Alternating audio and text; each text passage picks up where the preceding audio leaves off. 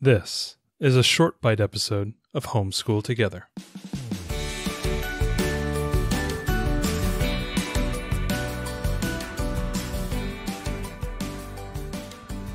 Hello and welcome to Homeschool Together Short Bite Edition. Thanks so much for joining us. We normally talk about games, but today we're going to be talking a little bit about kind of curriculum materials, just a short bite on uh, a workbook that we've just finished, or I've finished with my daughter.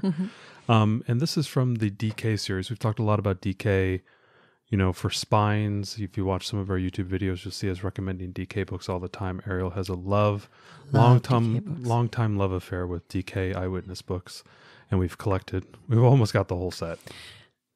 Well, you think that? I mean, there's a lot there, but There's no, a lot. there's a lot missing. We- we DK have- is my favorite um, visual um, book company. They've just Mm-hmm. got amazing reference books with just always, you know, just such engrossing pictures.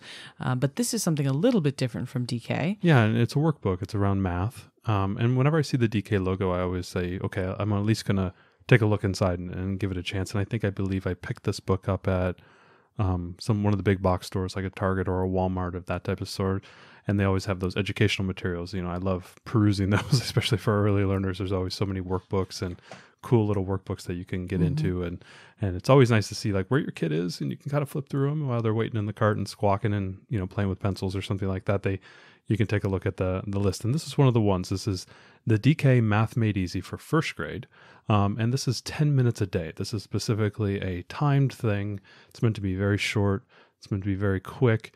And i would treat this more of like a review um, almost like a series of tests that you can give to your your student.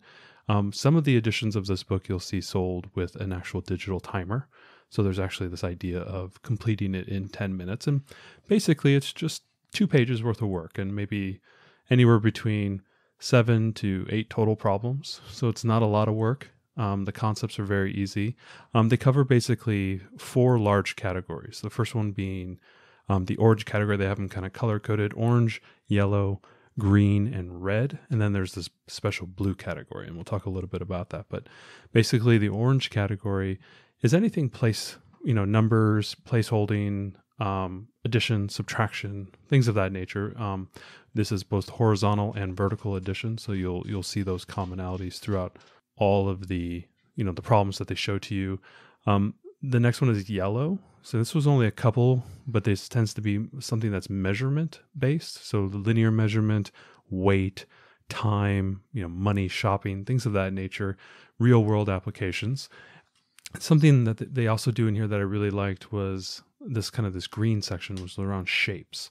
So 2D shapes, 3D shapes, they kind of got into fractions of shapes. And I've noticed in the Right Start Math, they use a lot of shapes to begin to teach fractions. And so I saw that here as well. So that was a nice, you know, to see the commonality there.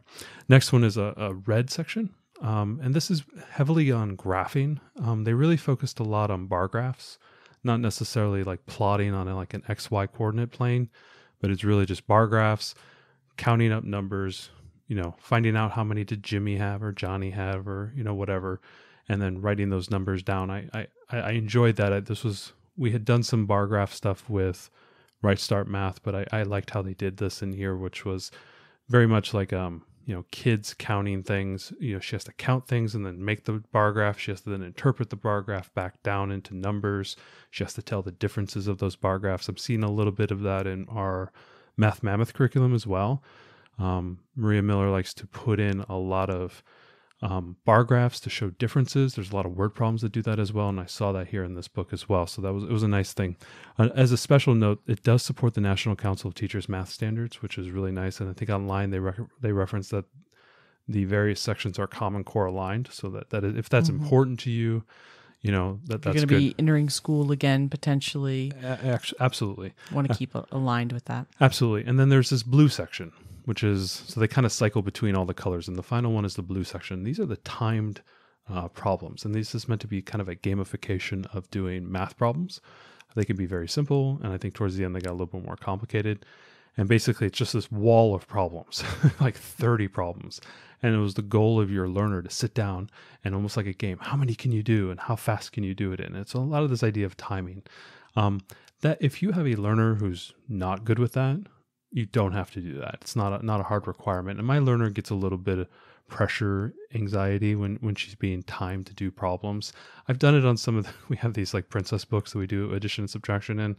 Um, it's just kind of filler filler activities and she gets a little nervous on it, but she likes it. So I, I, didn't do the timed element here. So I just had her doing like, okay, just today we're just going to do the two columns. And sometimes I mean, here, I'll show you one Ariel. It's like, you know, there's a lot of problems. Yeah, yeah. I'm, I mean, looking 30, at a page 60 here. problems, two pages across, yeah. 60 problems across two pages. Now, that isn't something I, yeah, I would expect my six year old to just run through the whole thing. Um, and it is noted that I, I didn't start this book until towards the end of the first level of Right Start Math.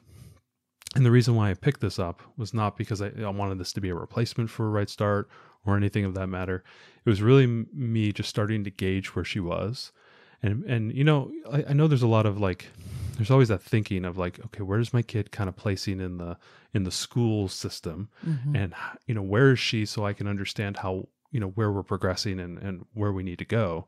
And I always like to use these type of like you know evaluation books is kind of like where where are you? Do you understand these concepts? Is this something we're missing?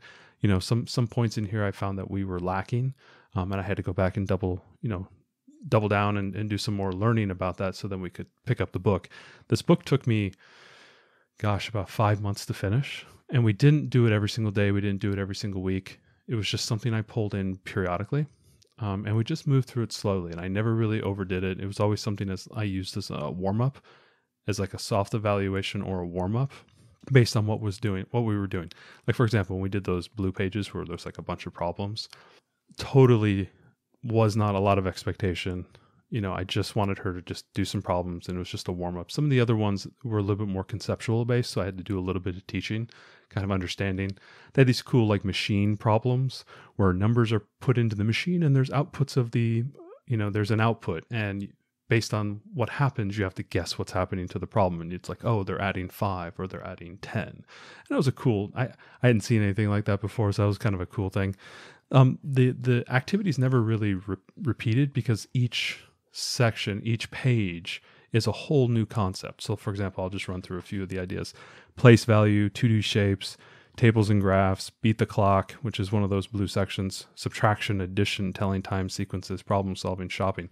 So like I think there was almost 30 let's see. Yeah, probably 33 different chapters and they covered a different topic every single time. So the activities were never the same. So is this just activities or is this actually teach the topic as well? It doesn't really teach the topic. Right. So this would just be this yeah. isn't a substitute for oh, any gosh, kind no. of main curriculum. This is just more practice. It's more a good practice. practice workbook. My other question is we've seen with some of these you know first grade we've been doing a few different different workbook um, workbooks they're assuming a level of reading which isn't consistent with first grade necessarily and that, so it kind of gets in the way of math right because yeah. it's like okay well I, I would really like to you know separate the the reading from the math where possible so that our daughter can you know go as far as she needs to in math without being hindered by the fact that she's only a early first grade reader yeah i ran into that with the math mammoth curriculum yeah. um probably i think that was the last chapter we just did was chapter three of the of the first grade curriculum so that would be the end of the first book and in that section they they did a lot of like a larger number recognition so like 23 or 62 and it wasn't just that you had to add 610 plus 2, and that was what the wording was. And I had my learner reading that because that's something she can do. Um, and then she would write the number, and that was pretty easy to do. But then she had to write 62, and that is not something she can do right now unless she's referencing something. So, like, I had to just not right. do that. Um, and the same thing here. Like I found I would have to read the problem a lot and just explain to her what what what we have to do. Okay. There's no so it still does rely on uh, some reading yeah, skills. So that's absolutely. just just a note for parents that this wouldn't be a completely independent workbook. No. Well, what I did like about it is a lot of times when they had a problem, say I said earlier, there's like six or seven or eight problems across the two pages.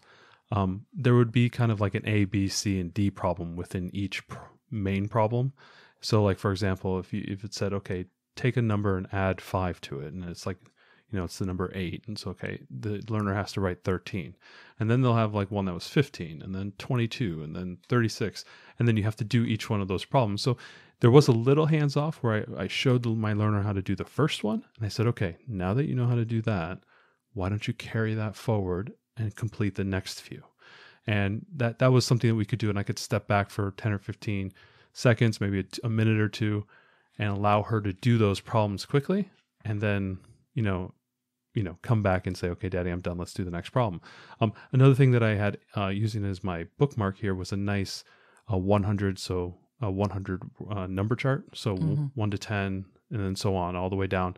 And I, I use that as kind of a crude number line so that when she got into sticky points, she'd always reference the, the, the, the, you know, basically the number grid from one to a hundred because I didn't always have my abacus with me for her to yeah. use. So that was kind of like an alternative. So that was something I like to have on on hand so that she could always reference it and always gave her kind of like a not a crutch, but it was always something she could rely on if she got a little sticky or the problem got a little difficult or she didn't really understand what she was doing, she could always double back down and say, okay, I'm going back to my number line and that will help me through the, this problem. So all in all, I really liked it. So who is this for? This is for a family who's got a pretty good um, I would say math learner. So somebody who really enjoys math, likes to do workbooks. This is obviously or needs that extra practice. Or, really, um, I don't know if this is necessarily a practice book. There's some pages in here that are really good for practice. Other things are very. Con- there are some conceptual.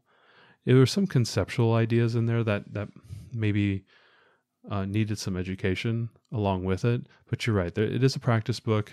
You can use it for practice keep it on the side. It's not. It, I, I, think the price on this thing was like eight or nine dollars. Yeah, it's it's eight dollars, seven ninety nine in the U.S., yeah. eight dollars, and it's about sixty five pages. So, yeah. I mean, when you consider cost versus quality, I, I really like that it's full color. Yeah, uh, and, and has engaging, cute illustrations. Yeah, and that's always something that gets our learner. Yeah, so if you're if you're going all year long and you you finish up your curriculum in in say May and you tend to take the summer off, you know this is a, something that maybe for a family who wants to um, you know keep keep the education going lightly. Um, this might be a good like summer, you know, um, you know, kind of hardening math concepts that maybe they've already learned, or maybe it's a way to touch on things that maybe are coming up that you can teach your learners. So it's it's a cool thing to do in the summer, something when you're off season, or it's something to send to grandma or grandpa. Say, hey, well, just hey, grandma, do page twenty two to twenty three.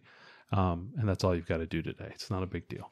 Yeah, or you can use it just the way we did, which was in our morning basket. So this was something basket. that our we could read a bit to our daughter, and then she would do yeah. you know most of the page independently for a lot of the pages after we kind of helped set up the initial yep. problem, um, just to give some extra practice. From we like to bring in different perspectives. You know, we we do Right Start mm-hmm. as our primary. We have then we we did Math Mammoth to help just reinforce those concepts, and yep. we've done like you said, we have these cheapy like princess books from the dollar store, hey, and we have this those one. Are, those are gold. I mean, that's that is like for one dollar right. you get like there. We'll we'll be talking about those later. Well, that, that's another podcast, but those are just fantastic. I love those. Yeah, I wish there were more um, because they are. They're they're cheap. They're fun. Uh, they've got engaging characters. So it's kind of nice to hit math from a bunch of different angles. And I think for eight dollars, especially if you have a child who uh, is you know struggling with seeing math from one company, uh, this is a pretty cheap way to find out if if this style clicks with them. Mm-hmm. So uh, overall, we liked it. I think we'll be we'll be using the second grade version uh, again as just further math, yeah. math and, practice and do n- and do note if you're out there looking at this book, um, there are two versions. There's the 10 minutes a day, and then there's the math made easy. And I don't know under I don't know the difference of them. I'm I'm assuming the 10 minutes a day is a more stripped down version the regular math made easy may be a little bit longer and so do know that I, have seen there's two different versions and then there's there's versions that are sold with and without um, the digital timer um, so do do note that if you want a, a, little digital timer included you can you can seek that one out otherwise i think i think the digital timer one was like five dollars more so keep that in mind thanks so much for joining us today and making us a part of your homeschool journey please engage with us on social media Join our Homeschool Together podcast group on Facebook and find us at Homeschool Together Podcast on Instagram. We'd love to hear your feedback, questions, and recommendations. Until next time, happy homeschooling!